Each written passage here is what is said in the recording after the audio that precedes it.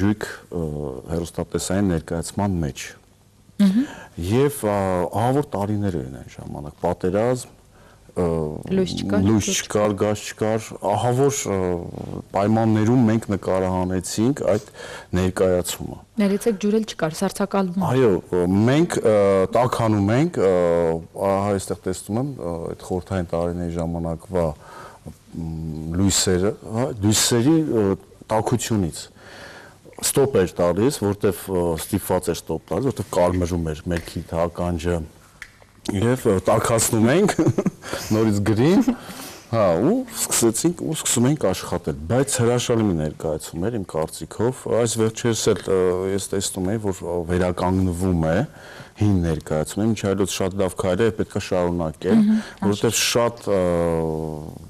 ոսկե ֆոնդը կարելի է համարել մեր թատերական ասպարեզում եւ դա զարգացում էր այն ժամանակ հերոստատեսության զարգացման մի տեսակն էր որը բավականին լավ արդյունքներ տվեց Ես Եվ շատ եմ ցավում, որ հիմա չկա հիմա տեղը զիջել դա չկա այդ դրամատիկային տեղը զիջելա սերիալները այո հերոստա սերիալներն են զիջել ես դա ընդունում եմ որ պետքա հերոստատեսություն զարգանա եւ այն սերիալներ բայց պետք է քիչ ավանդույթները պահպանվի,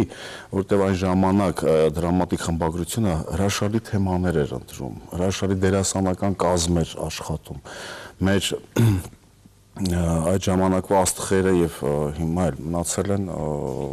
մնային աշխատանքներ են կատա ճիշտ է հին է եւ այն բայց ինչպիսի թեմաներ էին շոշափվում եւ հիմա